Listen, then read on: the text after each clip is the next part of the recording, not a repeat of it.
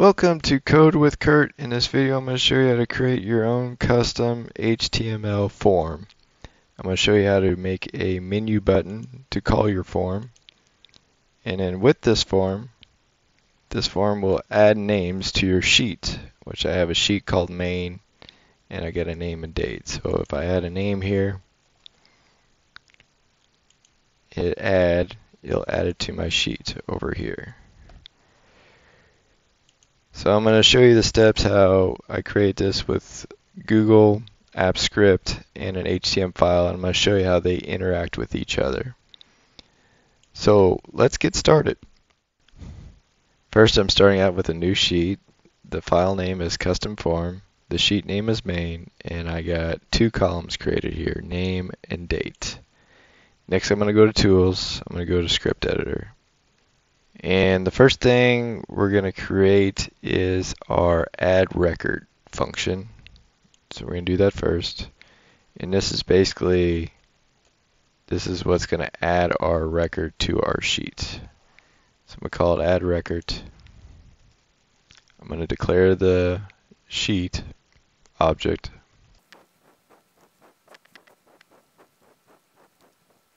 So now I got my main sheet declared the object. Next, I'm going to append a row for our next record. So I'm going to add a row to our sheet. So with this append row, I got my name and I got the date. So the my name will go under the name column and the date will go under the date column. So I'm going to save this and uh, go ahead and uh, name our project just name it custom form, the same as our sheet name. And we'll go ahead and run this. And we're going to have to go through permissions. So I'm going to select my account, select advanced, select go to custom form. We're going to allow this. And now it is running. So if I go back over to my sheets, you'll see my name and the date. So that's the function that adds the name and the date. So next, we're going to tie our HTML, HTML file with this function. So the next thing I'm going to do is I'm going to hit File, I'm going to hit New HTML file. We're going to give it a name, call it Add Form. Hit Okay, so now we got our form created. I'm just going to leave it as is for now. We're going to go back over to our script. Next thing we're going to do is we're going to call an HTML service that converts that HTML file into the form that pops up in the middle. So that'll be our next function. First we're going to declare our form. So here we're stating that we're creating this HTML service that's going to create the HTML output and here we're going to add add form which is our file name that we called up here. So next we're going to display our form and there's a couple ways you can do it. One way you can do it is a sidebar off to the right and one way you can display it in the middle and that's the way we're going to do it in this example. So in this, add record is going to be kind of the title of our form. And then we're passing form into this to show. So we can save this and run it.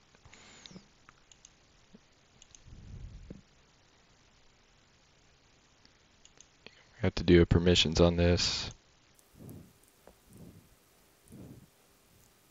So we got come back over here and now it's showing. Now this is blank because we don't have anything in our HTML, but it, we got our title here, add record. We're going to add some HTML elements to our form. So the next thing we're going to do is we're going to create our custom menu button, and that's going to display our form. So we're going to do that in another function called add menu. So the first thing we're going to do is we're going to create our menu item. We're going to call that custom. For there, we're going to add our start form function to a menu item underneath custom.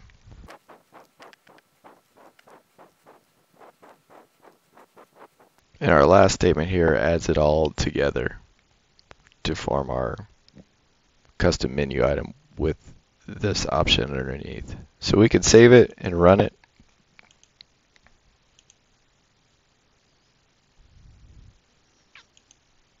We go over here, we got it over here, and we can click that and calls our form up. So that is complete. The next thing we're going to do is we're going to add one more function, an on open function. That means when we open this file up, it's going to add that menu option, a custom, to it. So that is complete for that. So every time we open the file up, it'll add that menu option so we can call our form. So our next thing we're going to do is we're going to go over to our HTML file and we're going to add our name text box and our button so we can put our data in to add a record. So I'm going to switch over to add form here. We are in our body right here. And I'm going to put, I'm going to keep this really simple. I'm not going to add any any CSS or anything like that. I'm just going to get it right out there. So name, and I'm going to add a couple HTML spaces here, and that's this is the command for that. Next thing I'm going to do is add our input where we put our name in the text box. So that is where we add our name in and we're calling it, we're giving that an ID of name and we're going to use that later to kind of combine this with our function call on the Google script. Next thing we're going to add is our button. So right now we just create a button with a value add. So we go ahead and save that. And we'll just go ahead and see what that's going to look like on our form. So if I go to custom, bring up our form, there it is. There's our name, and we can add it and add. But if I put anything right now in it, hit add, nothing's going to happen because we don't have our uh, our function added to our HTML, that connection. So next we're going to make that connection and kind of the final thing of this. So we're going to go back to our HTML file and we're going to add some JavaScript code. We're going to add a function in here. So first I'm going to declare, I'm going to come down here, I'm going to declare a script tag. I'm going to close the script tag here. So we got that. Next I'm going to add a function in here, and this is a JavaScript function. We're going to call it add row. So the first variable I'm going to declare is my name. So when this gets called, it's going to go look at that text box and pull that data.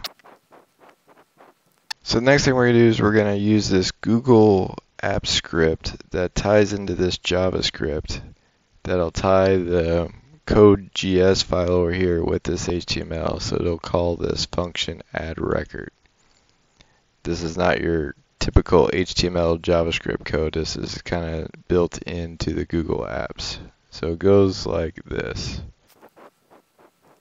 So it goes Google script dot run dot add record and then name. Add record is our function over here. But now we got to pass the name through this. So we're going to put name up here. And instead of the hard-coded Curt here, we're going to put name. So that'll pass anything that we put in the form straight through this function to the sheet. And we hit save there. And now we're going to go back to our HTML file. And we're going to have to call this function and how we're going to do that is on a click event on the button, like that. And we can save that. So now this should all be tied together with this HTML form with our functions to our sheet. So if I click custom, click our form, it'll pull up and I can add a name here. Mark. Hit add and that adds it over here and I can keep adding names in here and John so that concludes this video if you have any questions or comments please leave it below the video until next time